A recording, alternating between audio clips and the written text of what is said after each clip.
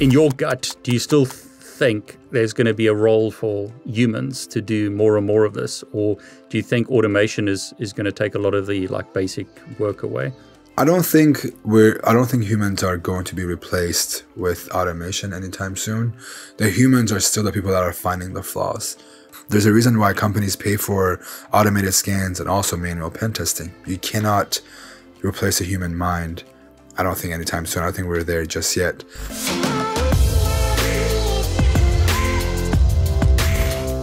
Hey everyone, David Bombal back with NahamSec. Ben, welcome. Hi, thanks for having me again.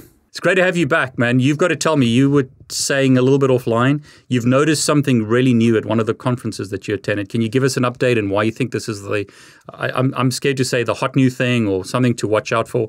Yeah, I mean, I wouldn't say it's new. I mean, attack surface management has been around for years and years. Companies have been doing it, you know, big companies have been after it. But just recently, so about a month and a half ago, about a month ago maybe, I went to uh, a company RSA um, they're big, you know, it's very vendor focused. There's some great research that comes out of it, great speakers, uh, that villages, you name it. But one of the main trends that I saw this year at RSA was the entire concept of attack surface management. Um, I think MasterCard got into the Recon attack surface management recently. Microsoft just bought a company.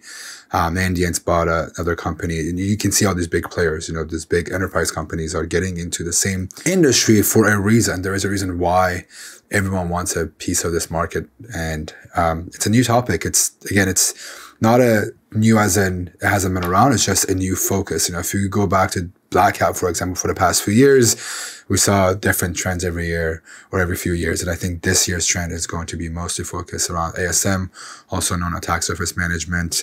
And it's just a fancy way of doing reconnaissance and knowing uh, either what your organization has on the internet or as a hacker myself, like a red teamer, what a company has externally facing online. Yeah, I had I had it in one of my questions, and I wasn't sure if we'd have time for it. And I don't know if you want to cover it now, or we can cover it in a separate video about like the blockchain. And I mean, obviously, with uh, at the time of this recording, of you know, Bitcoin or whatever prices are dropping, but it sounds like there's another whole level of pain with like Web three and a lot of opportunity there. Is, is is that right? There is a lot of opportunities. I will not be the right person for Web three. Give me a few months. Uh, I I am working on content for Web three and like the the blockchain right. and smart contracts. I want to learn myself. But yes, if you're watching this and you think that you're interested in Web three, you're interested in the blockchain or smart contracts, this is the time to do it. It's gonna be a while before Web 2 goes away, but at the same time, if you're going to want to get involved, this is the right way to do it. It's the right place and time to do it.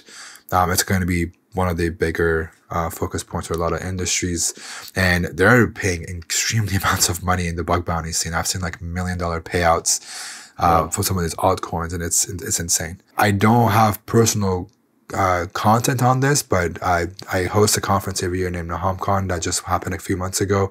And I had a few people that talked about it, and based on the reactions that I saw, it was a really good place to start. And so I those are the only two things that I have to offer personally if people want to get into the smart contracts. The videos on your channel, right? So yeah. I'll can link them below for people who are interested. Is that right? Yeah, the, the, the NahamCon 2020 playlist, there's a few, both on like how to approach smart contracts, but also how to attack these crypto platforms or these wallets from a Web 2.0 perspective. So smart contracts, something hot to look at if you if you're new to the industry.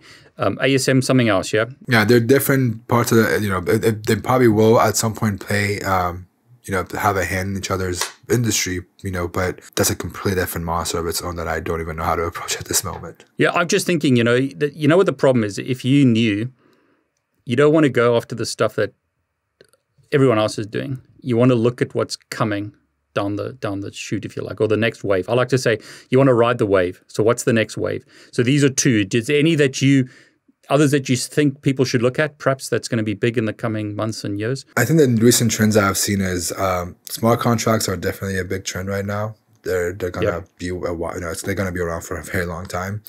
Uh, the ASM thing that we just discussed, I think, is just from an industry perspective, it's huge. Um, I yeah. want to say I, I I texted my my co-founder. I was like, hey, I'm like one ASM away from like being triggered because of how many times I saw attack surface management on the walls, people asking and talking about it. And you know, it's an industry that I work with. It just I going into RSA, I did not expect it. And then the third one is, I think APIs. Um, they're they're they're, they're going to be a hot topic. I didn't realize there wasn't a good book on API. There is a few good books. I'm not saying there isn't any. All right. So one of the people that I ran into at uh, BSides Knoxville is Corey, whose uh, book just came out on API hacking. Do you want to tell us a little bit about the book? Yeah, it's uh, hacking APIs. It's out with No Starch Press. Guides you through uh, pen testing and attacking APIs for bug bounties but I think there's maybe a handful of good API books that are out there. And everything we connect to has an API. Every app you work on your phone, every application on their websites, your bank accounts, all of them communicate with an API. And uh, I, those also go beyond the REST APIs. It could be GraphQL, REST API, and those sort of things as well. I think those are going to be the next big three, big three things. And the um, offensive security hacking realm as well. I'm not saying as a security industry as a whole because that's a big umbrella of like content to talk about. But for me, someone who's in the offensive security, bug bounty, pen testing realm, those three are going to be very, very hot and very, very high in demand.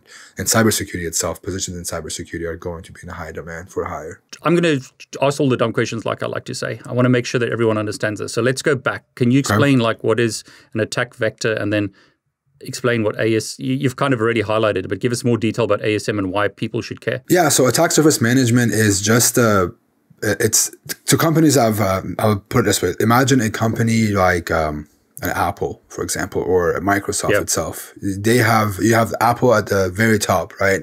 And then Apple yep. owns other products of its own. They have uh, iCloud, they have the iPhone, they have iPad, you know, the Mac OS. Every single one of these have a website.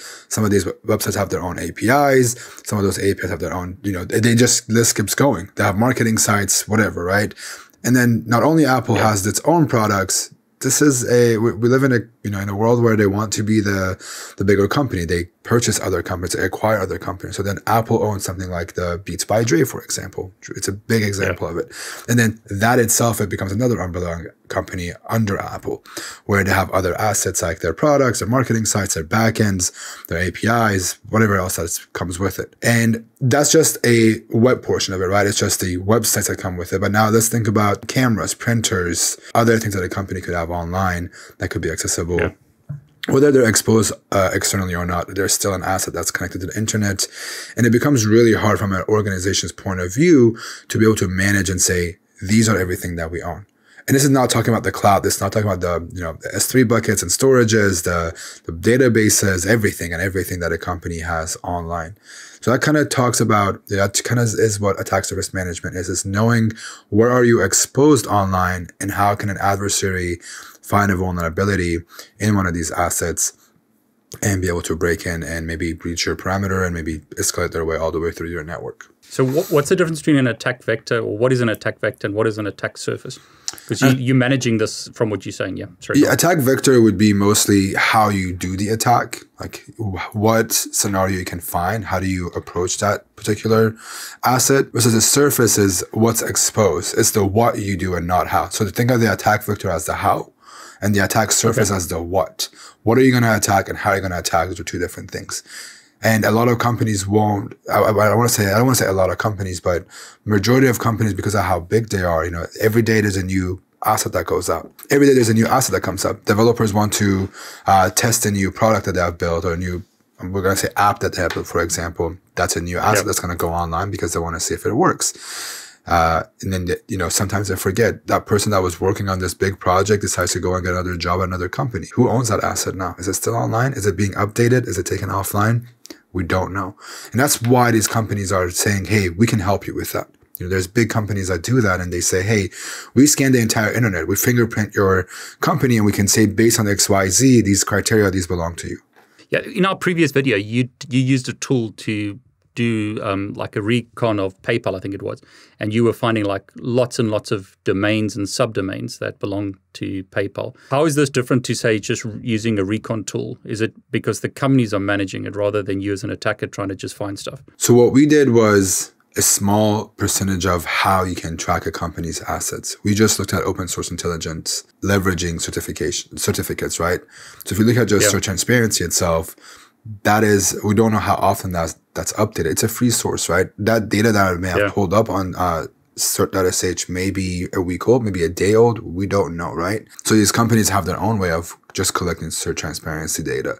And uh, you know, outside of that, we don't know. For example, for PayPal, I only looked at the certificates that are or assets that have a certification attached to them. What about those that don't? What about the IP addresses they own? What about, you know, the cloud storages that they have, the S3 buckets or the Azure buckets, what you want to call it? What about those? What about, you know, the FTP servers, SSH servers that are, you know, not even web? It's just a box somewhere with an IP address, no web presence, yeah. but you know there could be an SSH or an FTP or even a um, mail server on there, for example. And is are we only concerned with devices connected to the internet, or is there like external slash internal ASM? It could be both. Just because something is internal it doesn't mean that it's not externally exposed. Misconfigurations happen a lot of times. I've had a, I had a case of this with, I think it was Snapchat. I publicly disclosed this. They had something from their uh, continuous integration and continuous deployment tools, uh, Jenkins, yep. for example, that had a uh, exposed and it was supposed to be internal and it was behind Google authentication. So you had to use Google to authenticate and somehow they misconfigured it and I was able to log in with a Gmail account. So just because it's supposed to be internal doesn't mean that, you know, I always like it's, it's human mistakes. We all make mistakes. Some of us bigger mistakes on accident happen, stuff like that. And we, Snapchat isn't the only one. I've seen this happen a million of times. And it could also be uh, a piece of information that's left behind. For example, on another server, that could give you credentials to log into these CI/CD pipelines and uh, tools that are supposed to be internal. So there's, you know, there's the, the, attack vector that you mentioned earlier. Just because something is internal doesn't mean it's not accessible. There are vulnerabilities that could give you access to those internal networks where you can pivot through things and just make your way up. So easy, if I understand correctly, the the idea is more and more companies are putting or doing more and more digital stuff. So we're talking about a digital asset, is that right? Correct. So a digital asset depends, the definition of a digital asset depends on the company and the person. I personally define a digital asset anything that is connected to the internet or anything that's belonging into that company, whether it's your websites, whether it's your smart devices, whether it's uh, you know an employee's computer that may be having a web server somewhere, it's, somehow it's you know exposed online. It could be your GitHub, GitLab, Bitbucket, whatever code repository you use. It could be your online uh, mobile apps. Those are all assets because they connect back to your infrastructure in some way. And the problem is companies are putting more and more of this stuff online they don't actually know is, is part of the problem they don't actually know what they've got is that right? To some extent yes. I think so the older the company, they're probably the harder. I think newer companies yeah. or the smaller companies don't have that kind of an issue. It just depends on how mature the security teams are or how involved they are in the process of launching new products and launching new test environments, how they expose them, how they contain it, how, you know, it's a behind some sort of firewall maybe is the environment protected it all comes down to those things but yeah you're correct everything is going online i mean look at our medical records now right like especially with COVID happening. You know, we all exactly. we were we weren't we weren't given a heads up of like, hey, by the way, every company in the world in six months, you have to go digital first and you have to work remote with everybody. No, everyone was scrambling. Like, you know, my heart goes out to all the blue teamers and people that were in IT and infrastructure teams that had to figure things out. How do we protect ourselves? And and this is not a this is not a job to people that are non-technical but you think about it then the amount of non-technical people that are in a organization is a yeah. lot higher than the people that you know are technical that know how to not click on phishing links not to click on you know a random microsoft word that was sent to you as an email attached as a resume yeah. for example there are trainings that happen but unfortunately the hackers don't care how good you are as a person. They just care to own your, you know, your account and be able to leverage it to go through that company's uh, network and get whatever they want out of it. I think it's a really good point. Companies were forced, like almost, well, it was literally overnight, yeah, to spin up all kinds of stuff. And unfortunately, and, um, some yeah, some companies were ready for it. They were doing the digital first, yeah. right? Uh, and some companies were were an office only company, and that doesn't work like that. No, not anymore. So I mean, okay, so people are putting, or companies are putting more and more online. Older companies may not even know what they've got. But um, I think I heard you say, and I'll mention this, you're doing this series, you're doing a more d- detailed series about this on your YouTube channel.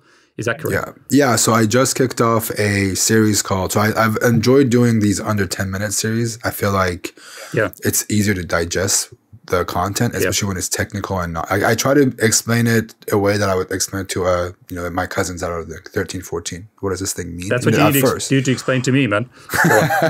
but yeah, and if you can't explain that to someone who's not technical, so who know who doesn't know much about it, I can't explain to people that are technical, right? So that's a one portion of it. And the second portion is technically looking at some of these different methods that you can implement internally at a, you know, I'm not saying it's a solution to all your problems. It's a part of a solution that you can implement if you wanted to uh, be able to collect data on your own organization.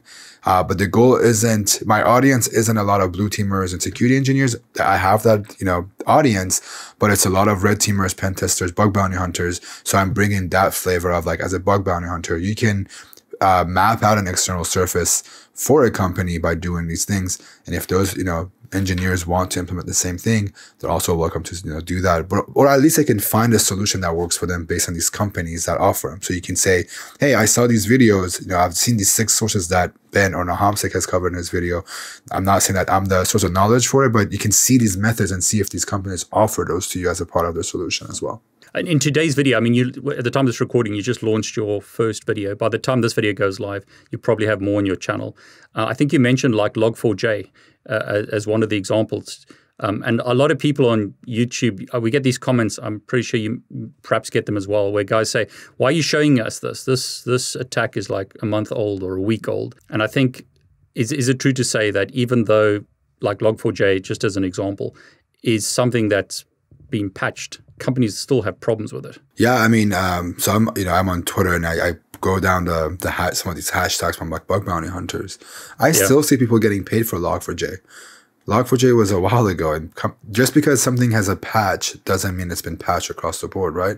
And that's another thing with attack surface management. It's not just knowing what's online; it's also about what is on those machines. So from a web server's perspective, it's an Apache server. Does it Apache run on Tomcat? Is it an Nginx? Is it a Windows machine with IIS? What version of it? Are there CVEs for those? Are there actual exploits for those? Are they exploitable? Are they patched? Just fingerprinting and knowing what uh, what's on them, and then beyond the back end of it, what software is on there? Is it a Jira? Is it Grafana? Is it GitHub Enterprise? Is it X? Is it Y? Whatever it is, right?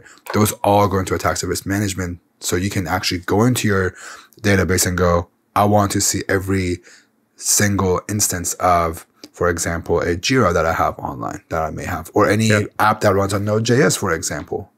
And it's very tricky to be able to, you know, some companies are very good at hiding that detail, but when you're good at hiding it, it's going to be harder to track externally uh, from an external point of view, like myself, or a service that does it. I mean, I think that's great. I mean, just I think you, you highlighted it there that just because a patch has been released doesn't mean it's been fixed by everyone. Companies may not even know that they're using it somewhere in an application or a stack somewhere. Yeah. Yeah, I mean that's that's what makes uh, ASM such a big thing. It's they don't even know these vulnerable assets are on there. Most companies again have a good way of pulling every main uh, application that may have that may have that backend or may have vulnerability, whatever it is that we're looking at. But honestly, it doesn't mean that it's, they get 100% coverage. You know, I, I, still see some old vulnerabilities popping up. You know, it's we yep. Log4j is just very recent, and I still see it. Uh, but you'd be surprised some of these older vulns still show up. It's just because companies haven't tracked it properly, or it fell through the cracks and they forgot about it. You recently presented at B-side Knoxville. Is that right? That yeah, I was actually uh, in Knoxville. I want to say about a month and a half ago, right before RSA. You met you met someone there who wrote a really cool book recently. Yeah. Yeah. I, um, so I went to Knoxville. I was a keynote speaker for it, and when I go to these conferences, I'm not really sure who I would run into. Right? They're very local. Yeah. Uh, but um, I met. A, a Happy Hacker, H API Hacker. He's the author of uh, a- Hacking APIs. All right, so we're here with Corey again. Do the book signing here.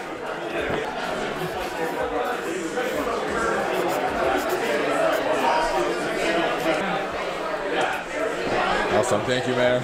You know, I wanted to reach out to him on Twitter, and I just didn't have the, yep. you know, I didn't know how to approach him. And then he's like, "Oh yeah, that's me." You know, I wrote that book, and it's like, "Holy crap!" I'm so glad I ran into him. We we chatted a little bit, and um, I got his book uh, somewhere on here, or in my other um, bookshelf. But yeah, it's a great book on API hacking, and uh, I got the pleasure to meet him in person and kind of talk to him. Now, the reason I bring that up is that's another nightmare. I remember a few, well, I'm assuming it is, a, a few years ago, there was this talk about APIs of the future. And it seems like yeah. we're getting closer and closer to that. Is that right? Yeah, I mean, it, the API thing is its own it's its own mountain. I don't want to die on right now. But it, again, if you don't know what APIs you have online, how many APIs you have exposed, you know, what APIs are connected to what backends or what product or what, you know, application, it's a nightmare to manage. Yeah, I mean, I just bring it up because that's just something else that ASM needs to take care of, yeah, because you might have a server online and you might just have a website that you think people are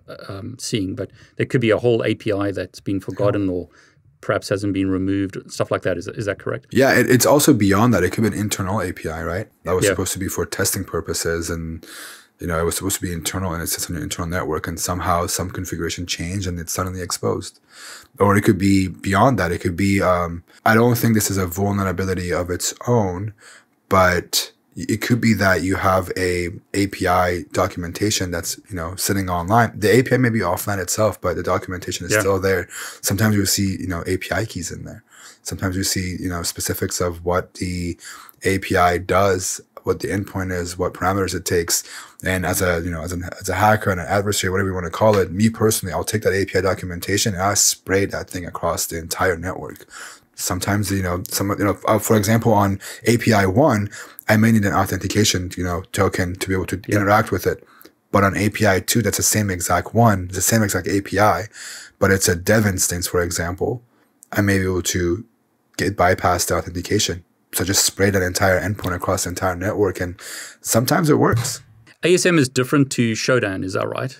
Because I think the reason I'm asking this is some like pen testers or uh, bug bounty people may see that you know what's the difference between what you're talking about versus the tools that are already out there. And you've kind of highlighted that already, but could you give us like what is Shodan? What what's how's it different to ASM and you know, is yeah. it for a company or is it for an individual or both? So Shodan is a good place to start for both as a hacker, both of an as organization, but what they cover may be different than what you need. So um, I can actually show it if you'd like a little bit. So this is uh, what Shodan looks like when you log in. So I actually have a uh, paid account. I believe I have one of the corporate accounts uh, as a partnership with Shodan. They're they're amazing people to work with, incredible people to work with. I have nothing but great things to say about John and his team. But you can still do some of this stuff with a free account. So they have different pricings. You can go look at them on here. You can pay $69 a month up to whatever, like the corporate version of it. Tells you what you get. You can also pay the membership of 49 one time fee that gives you some limited data. If you want to be cheap like me when I first started, just wait till uh, uh, Black Friday shopping comes up and then you can buy it for even cheaper.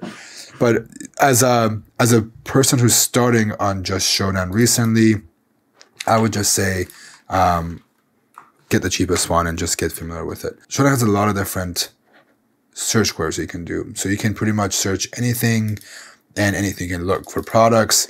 You can look for host name. You can look for SSL. You, you can just, you name it. So the point of Shodan is they scan the entire internet and they index it. Think about it like a, um, what are those like yellow books, uh, you know, the directory books of like everything yep. and everything you want. So if you were to look for, uh, give me a company. What is a good company that we could look for for this demo? Well, Apple perhaps. I don't know, or PayPal, whichever you think is like. So we can do something like, yeah, we can go here and we're going to say, I want it to be a host name of apple.com. And this is going to look and say, hey, anything that has apple.com set as its host name that we have found in our database, I want you to look for it. So you can show, you can see there's 82,000 things that come up that has the host name Apple.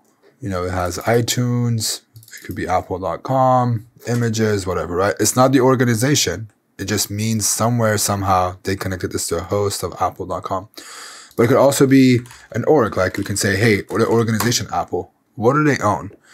And it's going to also do this as well. So it's gonna, it might take a while um, for it to come back, but it does give us that as well. So right here, so you know, there's more AA, whatever it is. It's somehow the IP address is owned by Apple Inc. Uh, whatever this one is, this this maybe not owned by them. There is going to be some false positive, but it looks at the data that I've connected to and anything that has Apple. So Black Apple is probably not Apple itself, but if you want to make it more accurate, you can click on Apple Inc. and redefine your search. But that just shows you how many devices it's found that has the specific based on our search query correct so yep. so, so let's put it this way this means that if it's a web app it is hosted on Apple's network itself. So Apple has a network of its own. This is not the cloud. It's just whatever. There's 36,000 things that we've found. It's just somewhere on the Apple's network. It's owned by them. And you can see their city always comes back usually where they are. But yeah, it gives you a good example of it. You can also go as far as looking for a specific product. So if I wanted to look for a product that is, um, let's say a Tomcat, hopefully they have something with Tomcat for the sake of this demo. Okay, maybe not Tomcat. Maybe we can try something like uh, Apache. This one should work. I've seen guys use this for like CCTV and stuff like that to find those kind of um, things online. There is a thing called Shodan Safari. Yep. People go on Shodan safaris and they look. and you know, the, the things that I'm showing is just my experience with Shodan has been very, very web and offensive security uh, yep. focused. But you're absolutely correct. You can find cameras. You can find, you know, it's, it's incredible what people have found. People have found some like very insane um, sites, like SCADA sites, for example, that shouldn't be online. People have found, yep. um, you know, the camera thing is a big one. Like cameras inside of people's homes for some reason that are exposed online. Uh, it's, it's, I've seen remote desktops on here, government assets. It's just insane. But yeah, going back to our example, you can see all these different assets that are coming back and they have an Apache server on here. Uh, you can see that it's come back to serverless Apache and it's let you, it lets you pretty much search through it. But going back to this again, uh, it goes beyond that. There's there's there's a book that actually the author of the the founder of Shodan has written. It's very cheap online. You can look for it. Um, I'll see if I can link it at some point. But so one of the things you can do actually is it lets you look at the title, the status of that, um, whatever is in there. So we want to look for a, let's say we want to look for a specific title. I'm going to go back here. We're going to remove the product and we're going to say, hey, give us something with login in it. And hopefully that comes back with something for us. What it's going through is it's looking at every Apple, every asset that's been under the organization Apple, that the title of the web page says a login, whether it's an admin login, a user login, whatever that is, it's going to look for it and give it back to us. So right now we can see right here, there is a few that came back. There's a login there. Um, Apple Inc. There's another login. Um, so it gives you an idea. So if you're looking for a specific thing across an entire network and you don't want to do your own tooling, you can use Apple itself. Again, we, uh, sorry, not Apple, Shodan itself. Again, I don't know how old this data is. I don't remember how often they share the reports. I think uh, it's right here. I think it says the time. Maybe this is when it was updated last. Um, it looks like it was from two days ago. So things may have changed, may have shifted, or may have gone offline, but it is a good place. Um, one of the things that I really use as a bug bounty hunter myself and I enjoy doing, I think this one costs a little bit of money. You can actually monitor a space. So I uh, I do a stream on Sundays when I do I, you know I host uh, interviews, but also do live hacking. So one of the targets that we're yeah. hacking on is Disney. Um, I'm monitoring Disney's assets. So I given them a range of IP address right here and it's telling me all the open ports. So I can click on this and say, how many ports of 9600 are open? And it also is showing me potential vulnerabilities of CVEs wow. that are put from 2014. Maybe some of these aren't exploitable, right? But just think, think of how old this is. This is almost 10 years old. And you're just doing this as part of the bug bounty program with HackerOne or something? Correct. Yeah, so I'm you know I'm hacking on Disney. They have a vulnerability disclosure program.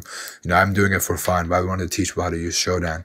And this is you know one of the things that you can do. And it also you can set up triggers, for example, that you say, hey, every time there is a new asset that comes up, I want you to send me a Slack message or email me, whatever that is, and it emails you immediately when they discover something new. And you can also see all these different like data from them, where they're hosting things. You can see uh, the results, how much has changed. It's gone up, it's gone down uh, since they've been monitoring it um, and go on. You know, and you can uh, depending on what you pay for. I think my account allows me to do like hundred thousand IP addresses, um, but the limits are different for each account. But it's a it's a great place to start. It, it's again, it's uh, I don't want to say it's not a good tool. That's not what I'm trying to say. But it's not. It may not be the solution for your organization, depending on what your goals are for your organization. Shodan may be it, maybe it not it. But as a bug bounty hunter, as a hacker, uh, I have used it, you know, religiously, and I really enjoy using it. And it's given me some really good data points. And it's it's also fun to look for some of these, you know, random devices that are hosted on Shodan. So if you uh, go down to the filters again on the dashboard, they actually have this called uh, screenshots of industrial control systems. Uh, I'm going to look for it. We're not going to click on anything just for my safety and your safety. Yep but it's you know it's it's scary to see these i don't even know if it's a real or not i mean honestly i, I don't look for these kinds of things but just seeing these kind of scares me you know it's there's a yeah. yep. It is, yeah. This is in Finland as a password. Hopefully, the password isn't password, but uh, some of these may be offline again. But it's just, um, it, it just, I, I see this and I go, Yep. why? Yep. It's very unbelievable. So, so, scary. th- so this is a screenshot of that IP address. So Shodan just took a like a screenshot of the page that it saw when it connected to that IP address. Is that correct? Not, not just the page, the service. This could be, you know, some of these aren't Okay. web service. Let me, let me click on it so we can actually see the details of all of these on Shodan itself. I don't want to, I don't want to No. send the requests, but you can see it says authentication disabled. There's no authentication. Oh, wow. It could, you know, you can, it's a, it's a, it shows as a port 5900. Somehow they made a connection and whatever that connection was, um, they were able to see it. I don't even know what this says. There's voltage on there. It says reset alarms. I don't. It, it just, just scares me to see this kind of things online. I mean, th- so this is again the the the whole point that um I see this on YouTube a lot. Guys, when you show like really basic hacking stuff, guys go like, "This is stupid. No one's ever going to do this." But this is a fine example of, you know, no passwords, no authentication, industrial control system online. I mean, it's just a security problem as a whole. It's not just like the attack surface management. It's we always assume who. So a good example of it: Netflix accounts. Who's gonna hack my Netflix account, right? Yep. Who's gonna want to hack? You bet people are gonna hack your, your Netflix account. It's just they do it. Your Instagram account, your Facebook. It's just asking yourself like, who's gonna care enough to hack my stuff? It's not about who you are as an individual. They, they don't care about you personally. They're just gonna take whatever they can and see how they can abuse it at some point. That they can buy for you know buy more stuff, whatever it is. It's all the issue is always saying why or who's gonna find this, who's gonna want to hack my thing, and that goes beyond your accounts. It goes to the like, oh, who's gonna find this asset that's not protected? Like, who's gonna care about my industrial service or my pump or whatever it is that we just saw?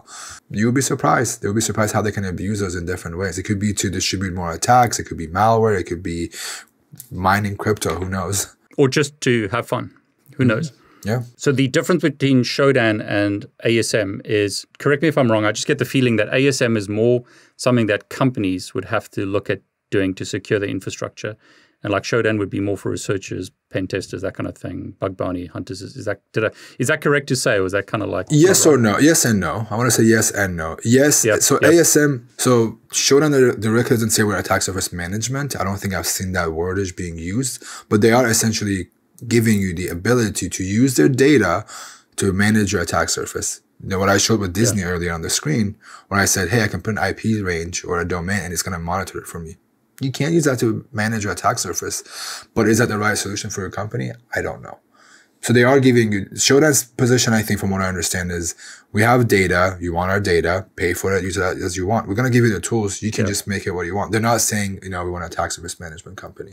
They're just saying we have the data. We know everything almost of the internet that's on there. You choose if you want to use it or not. Just before this call started, I looked on Twitter and I saw that uh, JP Morgan was fined like $200 million or something for communicating about financial strategy using non sanctioned applications. So they say he had no, no insider trading, no nothing except shadow IT. So that's another nightmare, isn't it? Where employees are perhaps spinning up stuff stuff on um, um, AWS or Azure or whatever.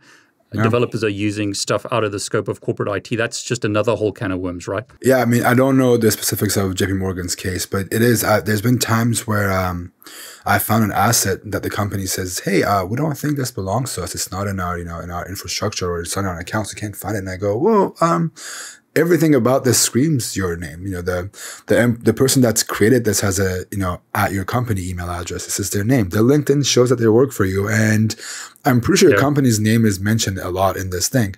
And it's not because they don't want to use this. It's just I mean, people work of hours. People have nightmares of, you know, sorry, to have deadlines that they have to meet. And there's very easy to forget those things. You know, it's, I'll give you an example of that. That happens to me a lot. I have my, I have two browsers at work. I have my personal browser on there that I use for like Twitter and, you know, looking at like the stuff that I want to look at. And I have my work browser. There's been so many times that I accidentally click on a meeting. That's, you know, I they send me a Zoom link or a Google Hangouts link on Slack and I click and I accidentally join on my personal account and I go, oh, nope, close. And I go back to my, it happens a lot. It just, it's that quick to happen. You just lose track because of how fast you're moving. You're multitasking. You're trying to meet your deadlines, whatever it is. Uh, that happens. It's unfortunate. Um, you know, the company has to pay the price for it. Yeah, I mean, the, the reason I mentioned that is it's just another asset or another thing that people have to worry about? I mean, I don't know how CISOs sleep at night. It's uh, I don't. There's, there's a reason why I'm not built to be a CISO, and there's a reason why I'm not Yeah. built for the blue team. I love. I, my heart goes out to the blue teamers, all my friends that are blue teamers, or people that I know that are blue teamers, my followers, whatever. Every time there's a new vulnerability, and it sucks because like. I feel like eight out of ten times these big things happen on a Friday at like three p.m. Yeah. It's like they almost plan it. stupid, right, yeah. right, Yeah. and it's like almost it feels like they do it on purpose Yeah. but yeah, it, it's it's it's insane. I have friends that are in incident response, and like you know, right now they're enjoying their lives. They're traveling, they're doing things, and they're like, it's not always going to be like this. We know it's gonna, you know, stuff is gonna hit the fan, and we have to be working extended hours, you know, past four a.m. sometimes on the weekends. So let's talk about your job because you mentioned like uh, like using two browsers. You give us last time I, we spoke. You, I think, had just left HackerOne, or you were about to leave them. Um, what are you up to these days? I think last time we spoke, I was maybe unemployed at the time. I took a you know a few weeks off. I want to take some time off. So I'd been working at HackerOne for six years. I joined them six years ago as an intern. Uh, I did my six years. I, I loved working for that company, but eventually just was time for a new adventure. I didn't know what I wanted to do. So I took some time off and I have a friend of mine. His name is Olivier Beg. I've known him since he was very, very young. I want to say he was like 15 or 16. And uh, he had just recently founded a company named Hadrian. And, you know, he's always told me, like, hey, one day, you know, I'm going to uh, do this thing. I'm going to make this company happen. And I want you to, you know, come and work with us. And I kept telling him, well, you know, once you get it going, and you get funding and you come to me with the news, we'll do it. And then he came to me, he's like, hey, uh, it's happening. Like we, the company is happening. My, me and my co-founders are here. Like we have an office now. We have the funds. Like, what do you think? And this is right when I'm just thinking about like, you know, not working for a while. And uh, we talked and uh, what they do is very, it's, it's something that I'm very passionate myself. You know, we talked about the attack surface management. Um, and the people that I work with are incredible. I've I got to be a part of a team of hackers who are building automations around some crazy stuff. Maybe hopefully we'll uh, talk about some of those uh, in the future at one of the upcoming conferences. Uh, I can't spoil anything, but yeah, they're, they're they're doing some really innovative things, and uh, I'm incredible, incredibly happy and grateful to be a part of the team, and I can't wait to see what we built and uh, see where it goes. I mean, I was just looking at the website. They, um, you, I mean, you, you you tell us some more details, and I mean, I'll just say this for everyone watching: this is not sponsored. It's just nice to hear stories about what people are doing, and I think it's a. Now that you've explained why you joined it, it makes sense because I, when I saw you your your profile change. I was thinking, wow, you know, to get someone like Ben on board in a startup must there must be some good reason why you're doing it. And I'm I'm assuming they I think it's they um, they're using hackers like yourself to help companies with um, ASM and other things. Is that right? Yeah. So what we're doing essentially is we you know we have a few customers of ours that we're working with, but uh, we we take those customers in. It's an ASM. It's attack surface management of some sort. Um, it's beyond attack surface management. That's why I say of some sort. It's not just you know for us to discover what they own, but we also try to implement automated things and event based things that happen. I'm trying to see how I can to the best of my knowledge or the best of my capability. But we, it's the whole idea of we see one thing, we are fingerprinted, and based on that fingerprint, how do we, what is the attack vector? How do we approach it? So not only we're identifying assets for those companies, but we automatically are con- continuously scanning their environments and I'm monitoring them for changes and that sort of stuff. Um, so it's just hackers building automation and making sure we can cover our customers to the best of our capability. We were speaking about this offline, and I, I don't expect you to tell us the future, but um, in your gut, do you still think there's going to be a role for humans to do more and more of this, or do you think automation is is going to take a lot of the like basic work away? Like when it comes to bug bounty, perhaps, or like asset management stuff like that. I don't think we're. I don't think humans are going to be replaced with automation anytime soon. The humans are still the people that are finding the flaws. You know, they're they're automated. They're automated tools for code review, for scanning vulnerabilities. There's great uh, scanners out there that could do this, but they still miss things. There's a reason why companies pay for automated scans and also manual pen testing. You cannot replace a human mind.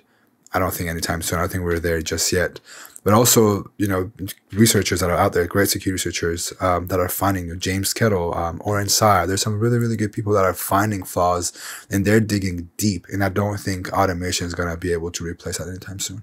Just as we were talking, I had this thought about um, ASM is different to inventory management, like a SolarWinds or some other application out there that gives you an inventory of, of devices that you have. This is specifically looking for vulnerabilities. Is, is that correct to say? I'm I don't know per se. I don't really know to be honest. But um, if it's if it's just devices, that could be just what you have across your organization. It could be the you know the cell phones, the to push updates and that sort of stuff. I don't know exactly what product it would be with SolarWinds, but it's usually to manage the devices of your employees. Let's say if it's a device management software, that technically is those those devices like this work laptop of mine or my cell phone. It is technically an it is technically an um, asset, but doesn't have access to user data, right? Is it you yeah. know is you know is it just being used to check my email on this thing? Technically an asset, but does it host uh, any user PIIs? Probably not. So you have to distinguish the difference between those two things. You know, there's software that gives the organization the capability of knowing, you know, how many uh, MacBook they have on their, you know, in their organization, how many Windows machines they have, how many of them are outdated, how many are running Chrome that's outdated, and on which platform. Yeah. You can s- consider those as an asset because yes, you know, if someone owns a device on their network, they're going to pivot to that device. If it's not up there, they're going to own that computer who knows? It could be a developer's account. They could, you know, they could leverage it to go up. But with ASM, it's just mostly my focus, especially with ASM, is the external attack surface of web presence, where there's customer data, where things could go wrong. Uh, outside of just the employees itself. It sounds like this is something that's going to be big in the in the next few years. It's already growing, and I mean, if you spotting the signs of this at RSA and places, then it's something that I think a lot of people should look at where's where can where can people get more information? I'm assuming. I mean, I would recommend first places on your YouTube channel because you're starting this series. Um, you, are you going to show tools and stuff like that there? And you know, are there any other resources that you can tell us about? So hopefully, my goal, and I'm, I'm saying hopefully because I don't know where it's going to head be headed at this point, but I want to pretty much talk about every single different uh, tool that's out there that could be used. I want to stay on the free side of things, so on the OSINT and yeah. the freemiums maybe, or whatever you want to call them. And then I want to build a framework around it eventually at some point of like, these are the tools you can use now to do this. And then how you extend that, uh, you know, that attack surface. Um, there are different ways you can do. There's, I think there are some great resources online. The, the beauty of the bug bounty scene is that um, a lot of these hackers are willing to share. I, yeah. you know, the, the ones that are willing to share, they don't stop. Uh, there are some really good research out there. Uh, there are some great tools out there. Um, I would just look up attack surface management. If I wouldn't look up attack surface management alone, I would look up more uh, recon workflows, maybe on a bug bounty focus, because bug bounty hunters have done a lot of that research. Uh, a great example of it, you know, uh, Olivier, one of our, you know, my, my co-founder of my company, he did a lot of as bug bounty hunting, and now we are creating a tool that does that stuff, right? Another friend of mine, Shubham Shah, he has a company similar to what we do. He's they've created some massive um, resources. Dan Miessler, uh, who's a great mind, uh, he talks about ASM some in some cases. Uh, there's just a lot of different. It just depends on what definition of ASM or recon you want to understand. Um, recon is very very huge. There's content man, content discovery, attack surface. Sorry, there's content discovery, asset discovery, and it just it, it just blows up for each of those, and it gets huge. But yeah, there's different resources. Uh, if anyone's going to be at DEF CON, uh, I'm personally will be there myself, happy to talk about these kinds of things. And uh, I may or may not have a training at DEF CON on attack surface management and recon as well. So if anyone wants to, you know, you can't tease us. So you, are going to be talking about it at DEF. Yes, I will right? be. Yeah, will, hopefully I will yep. be doing. The reason why I say is because like things are up in the air with DEF CON, and it's very early to talk yeah. about it. But I, I did get my I did announce on Twitter that it was approved or uh, accepted, and I'm also going to be hopefully hosting a few panels on red team, bug bounty, and recon as or at ASM as well go to conferences. If you see someone talking about attack surface management, go to it. If you go to, a, if you have a black hat pass, go to the, you know, if you have a business pass, especially that's really cheap, go to these vendors and watch what they, you know, some of our, you know, I know that it's very sales driven and the point is to get sales going up. But me going to RSA, I, I watched a bunch of the demos and I was like, holy crap, like, cool. Like I didn't think about this asset, or you know, I didn't think that this was a thing, or this was a business. Mastercard is doing something incredible with uh, with Recon with uh, on blockchain. It's they call it recon and it's not attack surface management itself but what they're doing is similar but on the on a transactional sense of like making sure fraud isn't happening using OSINT. and it just i i went to the guys like hey i'm not going to buy your product but i'm just really intrigued by what you guys do. Can you give me your sales pitch? And i was just mind blown by it. That's great. Uh, and i was just like cool. Like there's there's so many things that are happening. Go to these conferences. Don't be afraid to walk up to the speaker and say, "Hey, I enjoyed your talk. Can I bother you with a couple of questions?" We we go to these conferences for those reasons. We want to answer those questions. We want to network. We want to educate people. Go talk to these folks. Uh, they're there to help you out. I you know, it, it's always nice to have someone who's in this space with lots of experience like you have. Um, and I understand it's like it's a specific niche, but for people who want to be like you or want to, you know, do something similar to you, it's fantastic to get your input. Just before we wrap up, the you, are you going to be covering APIs on your channel as well? Yes, at some point. So I want to. I used to be the person that was like, I want to do all these things. Like, give me everything. I want to do it. Right. Yeah. Um, yep. I've learned to say no to myself. To say, hey, dude, like just one project at a time like baby steps with Black Hat and DEF CON coming up right now. I'm more focused there. But yeah, APIs are something that I'm really interested in. I cover them in my streams usually. It's just, you know, people ask me, how do you approach an API? But I'm hopefully going to do a series on it as well at some point. Um, thanks to you, we after the last time we talked offline, it was a there was a switch that hit in my head, and I was like, oh, you know, there is like there is a need now. If there is a need, it's now for me to step in the role of a content creator that could help people yep. learn these things and be able to explain them. It's just I didn't know how to do. I didn't have that um, the formula of how do I explain these things to people. And I think the ten minute series are um, the way to go. So hopefully I'll make a few videos on API hacking as well at some point. Ben, thanks so much for sharing your experience with all of us, and you know, thank you for being such a nice person and helping others. I really appreciate it, and we all, you know, thank you for you know being willing to share for free on Twitch and on YouTube and elsewhere.